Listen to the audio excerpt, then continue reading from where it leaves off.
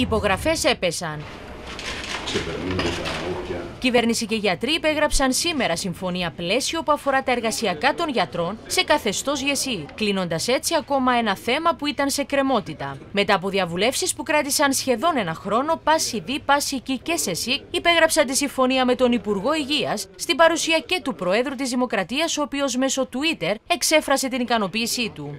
Θέλω να εκφράσω την ικανοποίησή μου για την υπογραφή του πλαισίου συμφωνίας με Πασιδί, Πασική και Σεσίκ για το ιατρικό προσωπικό. Η νέα αυτή περίοδος συνεννόησης δεν μπορεί παρά να είναι υποφελία των ασθενών γιατί δεν πρέπει ποτέ να χάνουμε ε,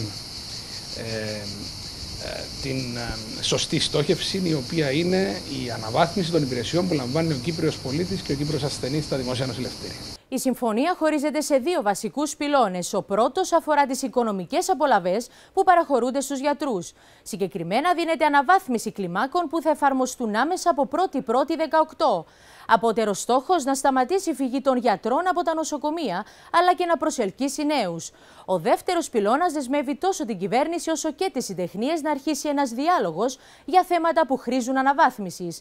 Δεδομένου ότι και οι δύο πλευρές αναγνωρίζουν την ανάγκη αναδιάρθρωσης των δημοσίων νοσηλευτηρίων, αρχίζει άμεσα διάλογος για θεσμοθέτηση νέων οργανογραμμάτων και δομών, για βελτίωση των ωραρίων των γιατρών αλλά και της εισαγωγής νέου σχεδίου αξιολόγησης. Είμαστε έτοιμοι να λύσουμε οποιαδήποτε προβλήματα υπάρχουν, ώστε επιτέλους μετά από πολλά χρόνια να δούμε να εφαρμόζεται το σχέδιο υγείας που το έχει ανάγκη ο κόσμος. Το πλαίσιο της συμφωνίας που έχει επιτευχθεί θα δημιουργήσει έναν υγιές και φυσιολογικό εργασιακό περιβάλλον για τους γιατρούς. Επόμενο βήμα του Υπουργείου Υγείας η σταδιακή υλοποίηση των διαφόρων θεμάτων της αυτονόμησης, με πρώτο και κύριο την κοστολόγηση των υπηρεσιών.